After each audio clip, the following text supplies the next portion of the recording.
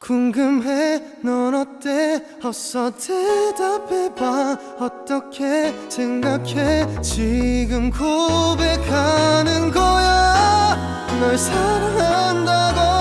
가슴 벅차게 사랑하고 있다고 사랑이더라